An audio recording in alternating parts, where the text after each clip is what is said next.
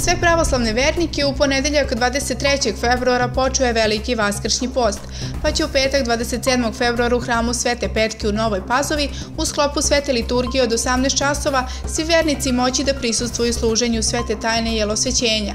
Sveta tajna jela osvećenja sastoji se iz molitava sveštenika i pomazivanja bolesnika osvećenim uljem, kroz koje deluje Božija blagodet za ozdravljenje bolesnika, a bolest ovde podrazumeva oboljenje duše ili tela. Božija blagodet u ovoj svetoj tajni leči telo od njegove nemoći i čisti dušu od njenih grehova. Sveta tajna jelosvećenja vrši se ne samo na teškim bolesnicima, nego se ova čudotvorna sveta tajna vrši i nad onima koji su lakše bolesni.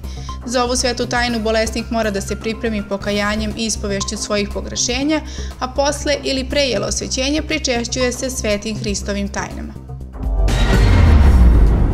Savet mesne zajednice Nova Pazova donao je odluku o izdavanju drugog dela monografije Nova Nova Pazova, koja će obuhvatiti period od 1960. godine do današnjih dana, a čiji će izdavač biti Kulturno-poslovni centar Nova Pazova – Mesna zajednica i Kulturno-poslovni centar Nova Pazova upućuju poziv svim građanima, kao i pravnim licima iz oblasti privrede, sportskim i kulturnim društvima i svim drugim udruženjima građana u Novoj Pazovi, koji posjeduju fotografije, dokumenta ili druge važne izvore koji govore o životu i razvoju Nove Pazove iz navedenog perioda, da takvu dokumentaciju dostave Kulturno-poslovnom centru, kako bi se obezbedilo prikupljanje što potpunijeg i kvalitetnijeg materijala koji bi činio sadržaj monografije.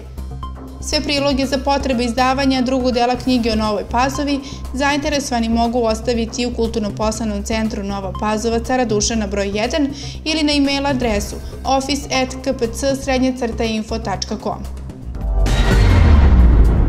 Ponedeljak 23. i utorak 24. februara u osnovnoj školi Rasko Nemanja i Cveti Sava održano je školsko takmičenje u recitovanju pod nazivom Pesniče naroda mog.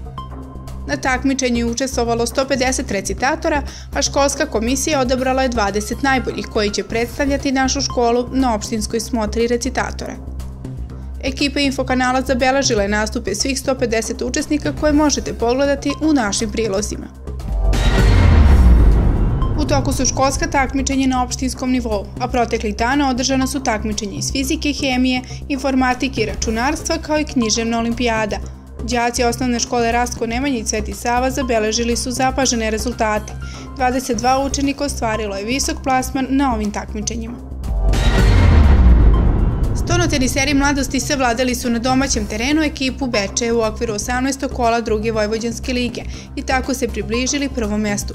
Borba za vrh tabele nastavit će se nakon pauze zbog prvenstva Srbije u pojedinačnoj konkurenciji koja je na programu predstojećeg vikenda. 15. marta u Novu Pazovu dolazi tim Rapida iz Nikolinaca, lider druge Vojvođanske lige. Novopazovčani su za ostatku dve pobede u odnosu na Rapid koji ima težak raspored u završnici prvenstva. Futboleri kluba malog futbala Nova Pazova osvojili su jedan bod na domaćem terenu nakon utakmice protiv ekipe Mungos iz Zemuna koja je završena rezultatom 4-4. Golove za domaći tim postigli su Lazić i Najetović i kapiten Stanković koji se dva puta upisao u listu strelaca, a strelci za goste bili su Denić, Ramadani, Petrov i Stanković. Novopazovački tim tako je ostvario još jedan pozitivan rezultat u nizu. Za samo dve nedelje naši momci odigrali su četiri utakmice, a težak ritam utakmica sreda nedelje se nastavlja. U sredu 25. februara sa početkom od 19 časova i 30 minuta, futbaleri kluba malog futbala Nova Pazova dočekuje ekipu kluba malog futbala Srbobran u okviru finalne utakmice Kupa Vojvodine. Pozivamo sve navijače da dođu i podrže naše futbalere. I utorak ostajemo pod uticajem toplog vazduha, bit će pretežno sunčano, prijatno vreme, najviša dnevna temperatura kretaće se između 10 i 16 stepeni. U noći ka sredi stižu nam oblaci koji će usloviti kišu u sredu i četvrtak, tako da će u drugoj polovini nedelje biti nestabilnije vreme sa više oblačnosti, ali i dalje sa temperaturama iznad 10 stepeni.